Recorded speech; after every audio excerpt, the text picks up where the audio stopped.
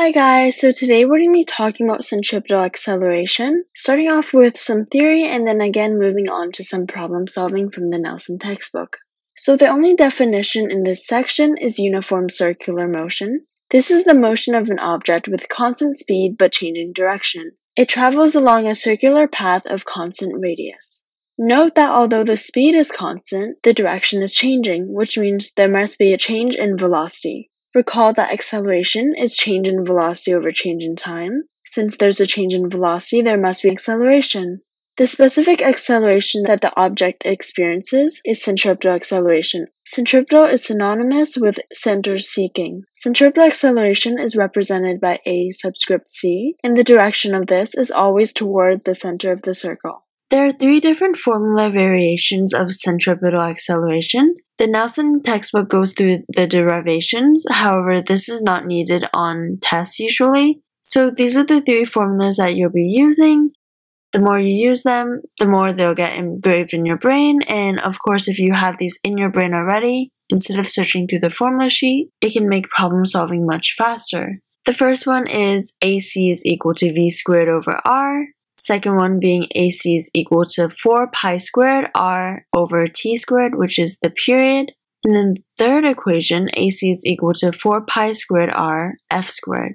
V represents velocity, r represents a constant radius, capital T represents period, so period is the amount of time required for a full revolution to occur, and this has the unit seconds, whereas frequency is the amount of revolutions completed within a certain time. So in SI units, it's represented by hertz, which is 1 over second, because the revolution part is unitless.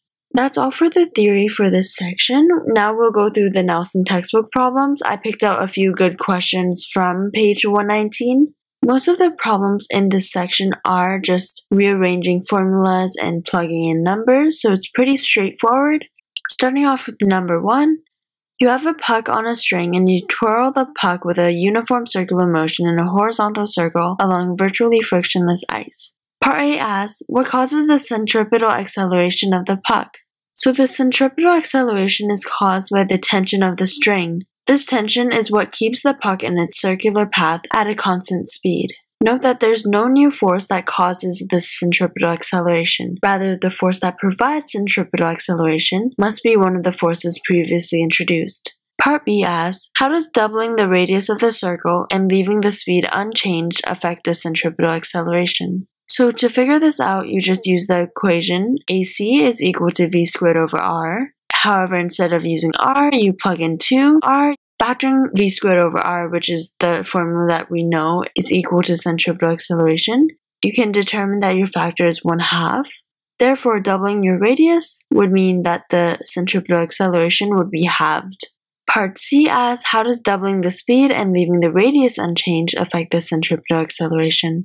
So this time we're using the same equation, which is AC is equal to V squared over R, except this time plugging in 2V.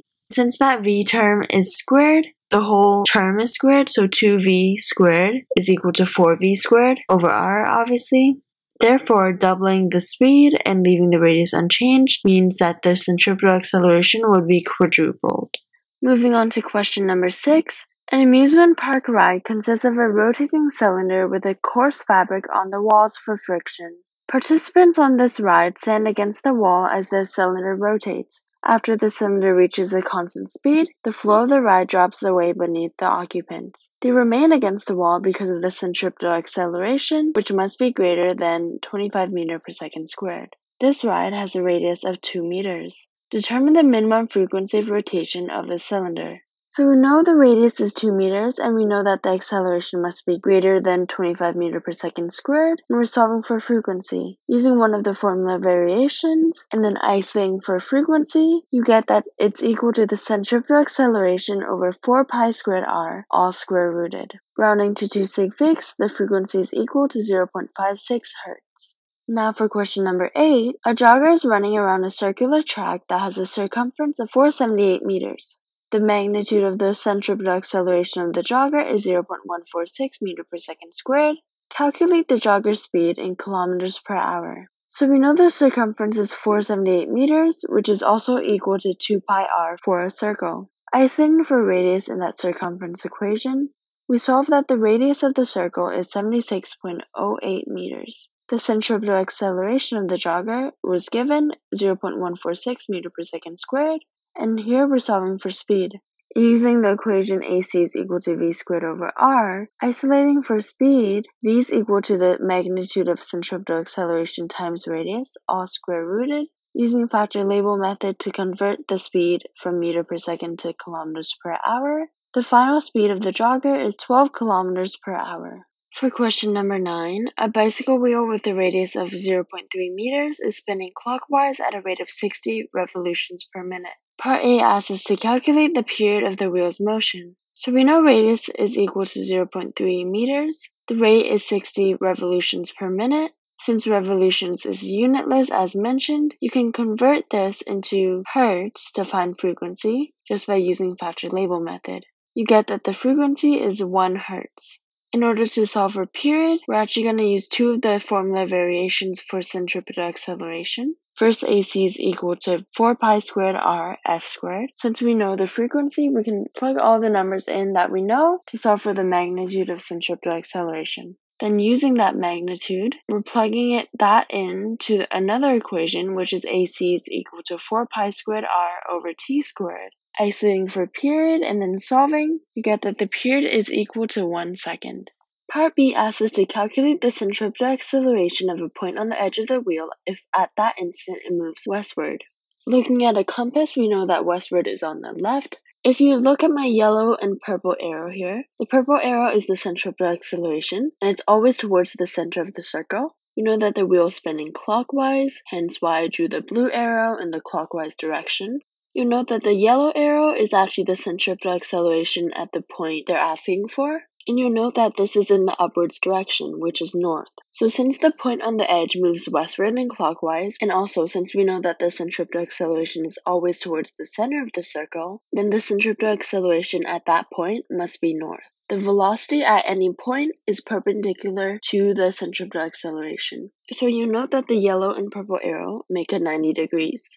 Since AC is equal to v squared over r and radius is a scalar quantity, you know that the velocity is what determines the direction of the centripetal acceleration at any specific point.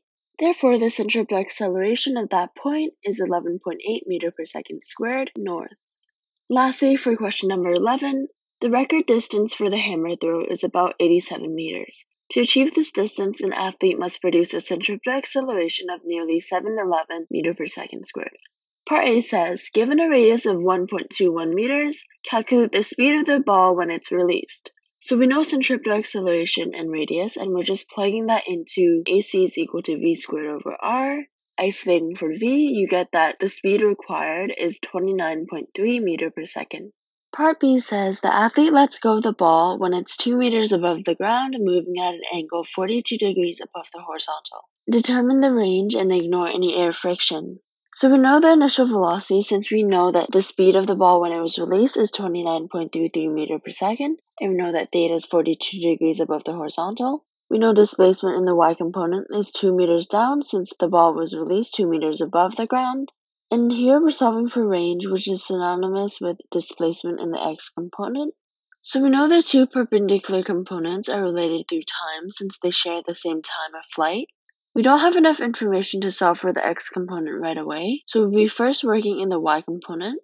Initial velocity in the y component is related through sine since that's the opposite side, giving us 19.63 meter per second. Displacement in the y is negative 2.0 meters since I let upwards and forwards be positive. Acceleration in the y is equal to gravity, which is negative 9.8 meter per second squared, again because gravity is in the downwards direction.